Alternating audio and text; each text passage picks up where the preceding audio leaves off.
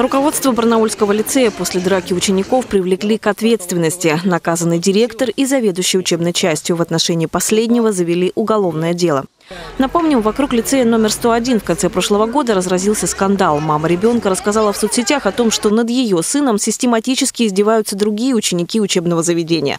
По словам женщины, руководство лицея обвинило самого пострадавшего в слишком острой реакции на происходящее. Следственный комитет края по данному факту начал проверку. В ходе нее также выяснилось еще об одном неприятном инциденте в лицее. В марте 2015 года в больницу с переломом ноги попал 11-летний школьник.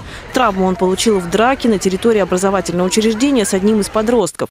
При этом руководство школы никак не отреагировало. В итоге по данному факту самому лицею вынесли представление об устранении выявленных нарушений, директора привлекли к дисциплинарной ответственности, а в отношении заведующего учебной частью возбудили уголовное дело по статье «Халатность».